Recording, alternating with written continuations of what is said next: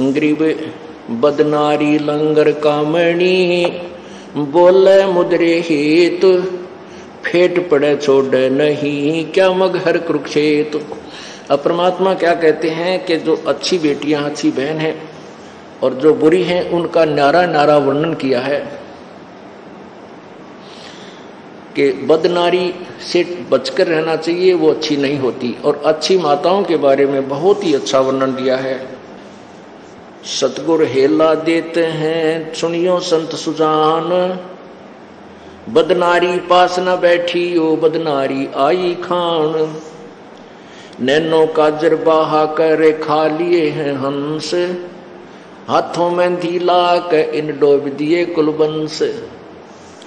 उल्टी मांग भराए कर मंजन कर है गात, मिठी बोले मगन हो वे लावे बहुविद गात।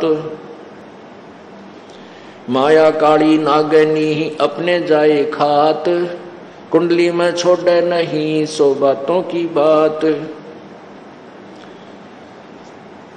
बदनारी लांगर कामणी ही जाम, जामे अनगिन खोटे फांसी डारे बाहे करे करे लाख में चोट। बदनारी लंगर कामणी ही बोले, मदरे बोले, फेट पड़े छोड़े नहीं काटे घूंघट झोल। ये तो उन बुरी, निकम्मी बेटियों के बारे में परमात्मा ने बताया अब अच्छी माताओं का कितने कलम तोड़ वर्णन करते हैं। गरीब बोलूँगा, निरपक्ष हो, जो चावे सो की ही न के अपनी के ओर की सभी बदनार मलीन। बुरी, यानी बद औरत चाहे अपनी हो, चाहे दूसरे की, वो कमी ही होती है। अच्छी माताओं के बारे में क्या कहता है? गरीब नारी नारी भेद है एक मैली एक पाख पाक माने पवित्र शुद्ध जा उदर ध्रुव उपजे जाको भरिए साख कि जिसके पेट से ध्रुव जैसे महापुरुष हुए उनके उन उनकी साखी भरिए कि ऐसी पुण्यात्मा होनी चाहिए माता गरीब कामनी कामनी भेद है एक मैली एक पाख जा उद, जा उधर प्रहलाद थे जाकू जोड़ू हाथ। कि जैसे जिसके पेट से प्रहलाद जैसे पुण्यात्मा उत्पन्न हुए इसी माँ को प्रणाम करूँ हाथ जोड़ूं ऐसी भागवान माता को। ग्रीव कामनी कामनी भेद है एक उज्जवल एक गंध। जा माता प्रणाम है जा उपजे भरतरी गोपी चंद जहाँ पर गोपी चंद भरतरी जैसे पुण्यात्मा उत्पन्न हुई उन माताओं को प्रणाम है। बहुत ही अच्छी माताएँ थी। गरीब कामनी कामनी भेद है, एक हीरा, एक लाल। दत्त गुसाई अवतरे अनसुईया के नाल, के जैसे अब औरत औरत औरत में भेद है। जैसे अनुसुईया जैसी महासती के उधर से, और दत्तात्रेय जैसे महापुरुष का जन्म हुआ। ऐसी माताएँ भी धन्य हैं। गरीब कामनी कामनी भेद है, एक रोजम एक हंस। जनक विदेही अवतरे धन माता कुलवंशी जिसके गर्भ से राजा जनक जैसी पुण्यात्मा ने जन्म लिया वो माता धन्य है। नारी नारी क्या कर है? नारी गुण बहुभेव। जा माता कुर्बान है, जा उपजे सुखदेव। नारी नारी क्या कह रहे है? नारी कंचन कूप। नारी से ती ऊप जेव नामदेव से भूप। जैसे नामदेव, जिसके उधर से नामदेव जैसी महापुरुष ने जन्म लिया, वो माता धन्य है।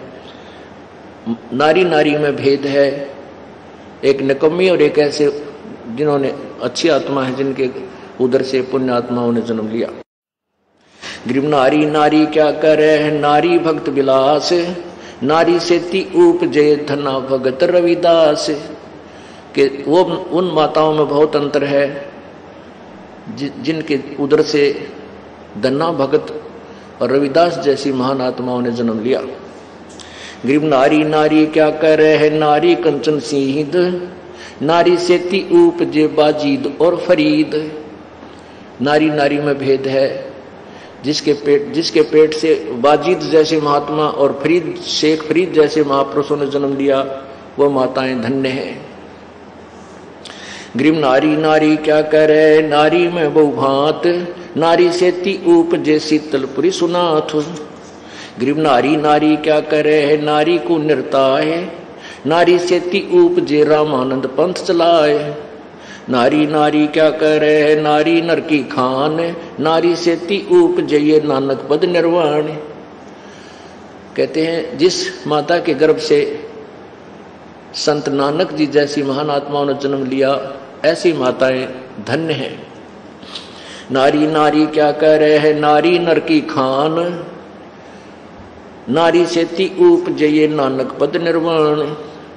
नारी नारी क्या कह रहे हैं? नारी सरगुण बेल। नारी से ती ऊप जे दादू भगत हमेल। जिस माता के गर्भ से दादू जैसे महात्मा ने जन्म लिया, संत दादू जी जैसी महात्मा ने जन्म लिया, उन माताओं में और उन बद नारियों में कितना अंतर है? ग्रीब नारी नारी क्या कह रहे हैं? नारी का प्रकाश नारी से ती जय नर्द मुनि से दास। ग्रीब नारी नारी क्या कह रहे हैं? नारी निर्गुण नेश ग्रीब नारी नारी क्या कह रहे हैं? नारी मुला माए, ब्रह्मोग्नि, जोगनी आदि है, चरण कमल लोलाए।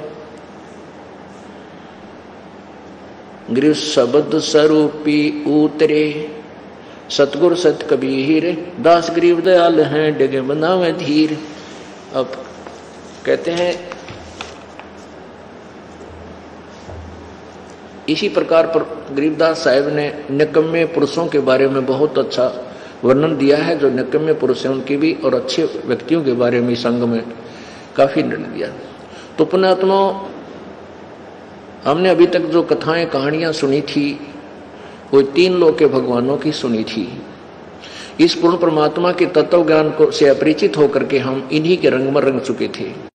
अब हमने रह रह कर परमेश्वर की इस महिमा को सुनेंगे, सुनना है, जिस कारण से हमारी बुद्धि उठकर उस परमात्मा में समा जाएगी और फिर हम उसी के पास चले जाएँगे, हमारा पूर्ण मोक्ष हो जाएगा।